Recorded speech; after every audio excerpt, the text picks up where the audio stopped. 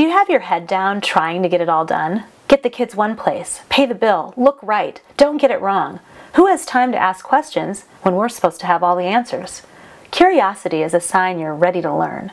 Curiosity is a sign of strength. Curiosity is connected to your purpose.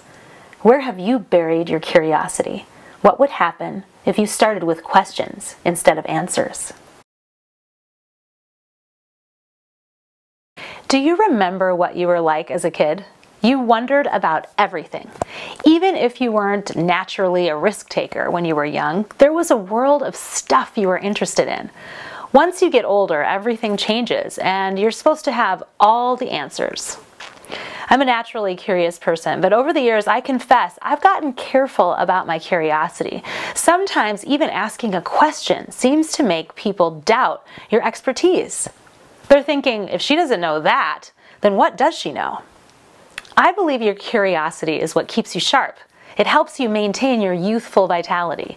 Your job as a human isn't just to have all the answers. You should be asking questions. What would it be like if I tried a webinar? What, what is it like to live in that part of the world? What does that taste like?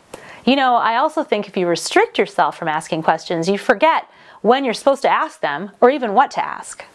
Amazing opportunities could be passing you by and you won't even know it. This week we're focusing on curiosity. It's part of planning out your goals for the next year, the next five years. Strong curiosity, fresh curiosity will keep you growing and bring abundance in your life. For now, I want you to think about the things you used to wonder about and have never followed up on, and things that you've stopped yourself from wondering. Let's start asking questions. It's where all the action is.